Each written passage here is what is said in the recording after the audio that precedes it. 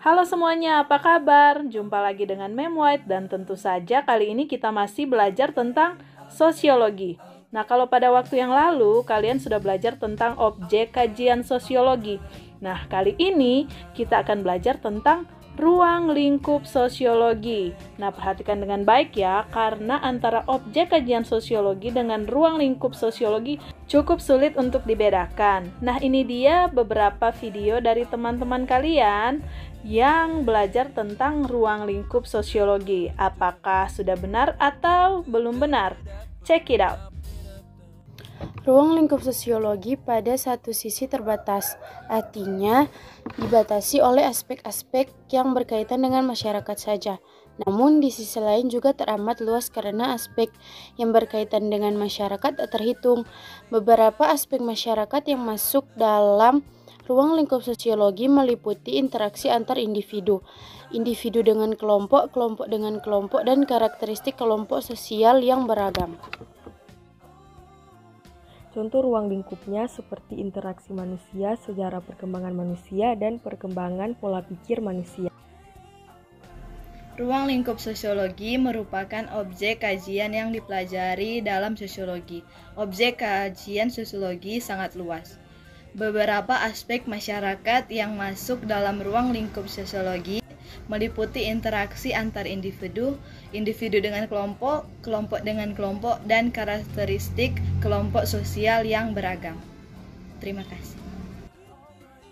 Ruang sosiologi mencakup interaksi sosial yang terjadi antara individu dan individu, individu dan kelompok, juga kelompok dan kelompok di suatu masyarakat. Contohnya adalah sejarah perkembangan manusia, interaksi antar manusia, dan perkembangan pola pikir manusia. Sosiologi merupakan ilmu yang mempelajari tentang interaksi manusia beserta aspek-aspeknya. Ruang lingkup sosiologi mencakup semua interaksi sosial yang berlangsung antara individu dengan individu, individu dengan kelompok, serta kelompok dengan kelompok di lingkungan masyarakat. Contoh ruang lingkupnya seperti interaksi manusia, sejarah perkembangan manusia, serta kemajuan pola pikir manusia. Terima kasih. Ruang lingkup sosiologi merupakan objek kajian yang dipelajari dalam sosiologi. Objek kajian sosiologi sangat luas. Beberapa aspek masyarakat yang masuk dalam ruang lingkup sosiologi meliputi interaksi antar individu dengan individu, individu dengan kelompok, kelompok dengan kelompok, dan karakteristik kelompok sosial yang beragam. Ruang lingkup sosiologi mencakup interaksi sosial yang terjadi antara individu dan individu, individu dan kelompok, juga kelompok dan kelompok di suatu masyarakat. Contohnya adalah sejarah perkembangan manusia, interaksi antar manusia, dan perkembangan pola pikir manusia. Ruang lingkup sosiologi merupakan objek kajian yang dipelajari dalam sosiologi. Objek kajian sosiologi sangat luas. Beberapa aspek masyarakat yang masuk dalam ruang lingkup sosiologi meliputi interaksi antara individu. Individu dengan kelompok, kelompok dengan kelompok, dan karakteristik kelompok sosial yang beragam. Ruang lingkup seperti interaksi manusia, sejarah perkembangan manusia, dan perkembangan pola pikir manusia. Objek kajian sosiologi terbagi dua yaitu objek material dan objek formal. Ruang lingkup sosiologi. Sosiologi adalah ilmu yang mempelajari, menyelidiki, serta menginvestigasi suatu perilaku, hubungan, serta interaksi antar masyarakat. Ilmu sosiologi lebih memfokuskan pada sektor tertentu, misalnya hubungan sosial antar keluarga dan hubungan sosial di era digital. Terima kasih. Saat ini saya akan menjelaskan apa itu ruang lingkup sosiologi. Ruang lingkup sosiologi merupakan objek kajian yang dipelajari dalam sosiologi.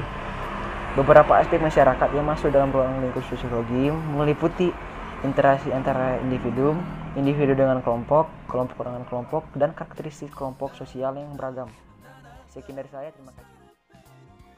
Ruang lingkup sosiologi mencakup semua interaksi sosial yang berlangsung antara lain individu dengan individu, individu dengan kelompok, serta kelompok dengan kelompok di lingkungan masyarakat. Contohnya seperti interaksi manusia, sejarah perkembangan manusia, serta dengan pola pikir manusia.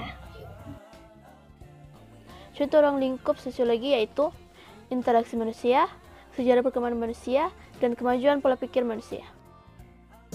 Ruang lingkup sosiologi merupakan objek kajian yang dipelajari dalam sosiologi. Beberapa aspek masyarakat yang masuk dalam ruang lingkup sosiologi meliputi interaksi antar individu, individu dengan kelompok, kelompok dengan kelompok, dan karakteristik kelompok sosial yang beragam.